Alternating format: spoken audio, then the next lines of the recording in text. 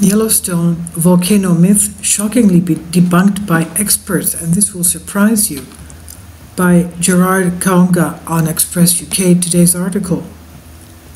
A volcano expert has dispelled the biggest Yellowstone myth that circulates about the massive supervolcano. Volcanologist Clive Oppenheimer revealed that, contrary to popular belief, the Yellowstone volcano is not due an eruption Despite expectations from other volcanologists and the public, Mr. Oppenheimer argued that there simply is not enough data to support the claim. During an exclusive interview with Express, he explained how frequently the Yellowstone supervolcano has erupted and what the data we currently have indicates. He says, I think this is overplayed. Imagine with Yellowstone, there are a couple of big events in the last million years or so, those events, I can't exactly remember what the dates are. I believe it was 800,000 years ago. Well, it was 640, they say, but anyway.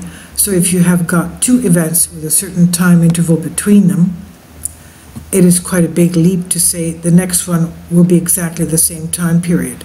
So if you want to make those kinds of assertions about something being overdue, you need a lot more data.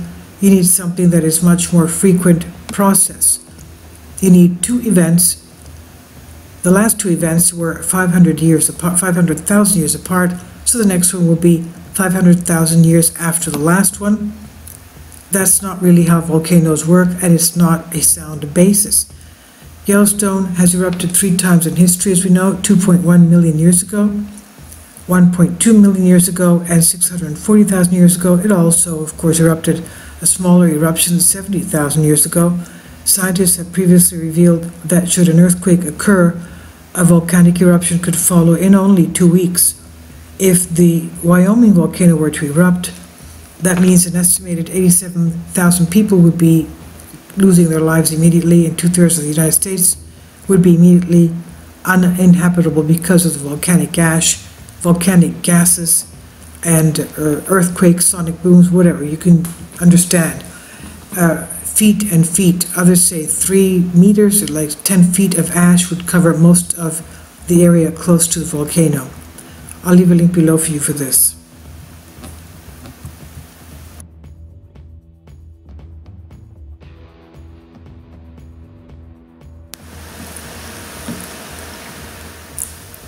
If you'd like to join me on my Patreon account, you will hear content not covered by mainstream media.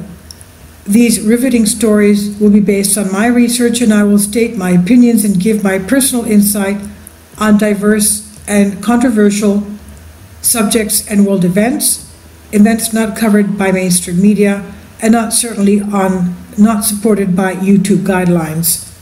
So whatever I have on my Patreon, most of those will not be on my YouTube channel. Please consider becoming a member today more of the, the most significant and important videos will be on my Patreon channel. Your support helps me to continue my research and keeps this YouTube channel alive.